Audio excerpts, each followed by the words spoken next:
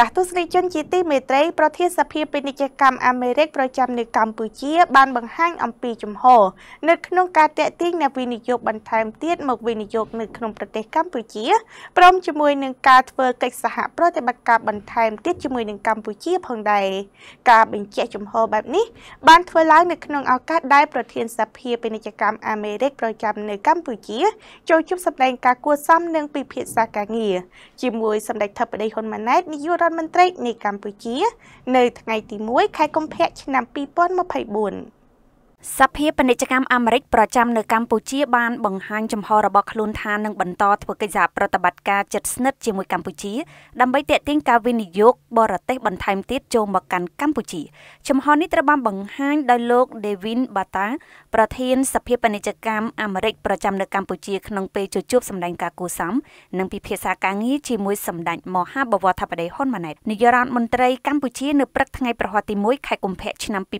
2024ក្នុងជំនួបនោះលោក Devin Bata បានថ្លែងអំណរគុណសម្ដេចថាបតីនាយករដ្ឋមន្ត្រី ដែលបានចំណាយពេលដ៏មមាញឹកអនុញ្ញាតឲ្យលោកនិងគណៈប្រតិភូជួបជួបសម្ដែងការគួសមនិងពិភាក្សាការងារលោកប្រធានសភាពាណិជ្ជកម្មក៏បានអរគុណរាជរដ្ឋាភិបាលកម្ពុជាដែលតែងតែបង្កលក្ខណៈងាយស្រួលនិងធានាបានបរិយាកាសវិនិយោគល្អប្រសើរសម្រាប់ធុរកិច្ចអាមេរិកនៅកម្ពុជាលោកប្រធានសភាពាណិជ្ជកម្មអាមេរិកបានវិតម្លៃខ្ពស់ចំពោះការបើកចំហនិងកិច្ចសហប្រតិបត្តិការយ៉ាងល្អប្រសើររវាងក្រសួងស្ថាប័នរបស់កម្ពុជាជាមួយសភាពាណិជ្ជកម្មអាមេរិកប្រចាំនៅកម្ពុជា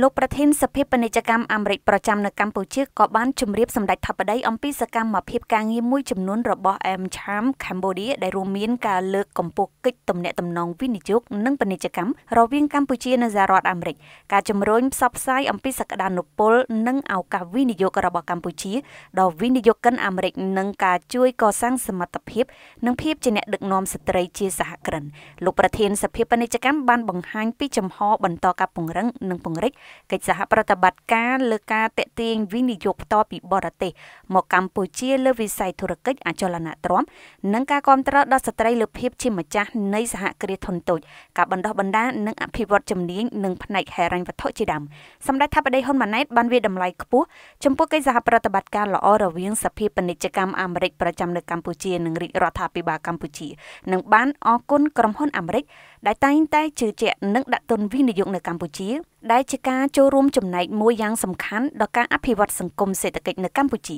សម្ដេចថាបតីបានលើកទឹកចិត្តឲ្យសភាពាណិជ្ជកម្មអាមេរិកប្រចាំនៅកម្ពុជាបន្តពង្រឹងនិងពង្រីកនៅកិច្ចសហប្រតិបត្តិការបន្ថែមទៀតជាមួយក្រសួងស្ថាប័នពាក់ព័ន្ធរបស់កម្ពុជាសម្ដេចថាបតីបានគូបញ្ជាក់អំពីការយកចិត្តទុកដាក់និងការបដិញ្ញាចិត្តរបស់រាជរដ្ឋាភិបាលកម្ពុជាក្នុងការធានាបរិយាកាសវិនិយោគល្អនៅកម្ពុជាដូចជាការពង្រឹងភាពធន់នៃប្រព័ន្ធសេដ្ឋកិច្ចនិងហិរញ្ញវត្ថុនិងការពង្រីកមធ្យោបាយក្នុងការទូទាត់ទំនើបតាមប្រព័ន្ធ QR Code ក្រោមក្របខ័ណ្ឌកិច្ចព្រមព្រៀងតំបន់ពាណិជ្ជកម្មសេរីកម្ពុជាជាមួយបណ្ដាប្រទេសជាច្រើនទាំងក្នុងតំបន់និងពិភពលោកបន្ថែមពីនេះសម្ដេចថាបតីក៏បានបញ្ជាក់ពីភាពតាក់ទាញនៃច្បាប់ស្ដីពីវិនិយោគរបស់កម្ពុជា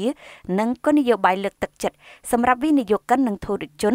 ដែលធានាបាននូវភាពប្រកបនិយមចំពោះបរិយាកាសវិនិយោគប្រកបដោយភាពអនុគ្រោះនិងភាពបត់បែនសម្ដេចថាបតីនាយករដ្ឋមន្ត្រីក៏បានបញ្ជាក់ជូនលោកប្រធានសភាពាណិជ្ជកម្មអំពីឱកាសនៃការវិនិយោគលើសួនឧស្សាហកម្មបច្ចេកវិទ្យាជាន់ខ្ពស់ដែលរាជរដ្ឋាភិបាលកំពុងយកចិត្តទុកដាក់ក្នុងទិដៅចូលរួមក្នុងការអភិវឌ្ឍវិស័យ Digital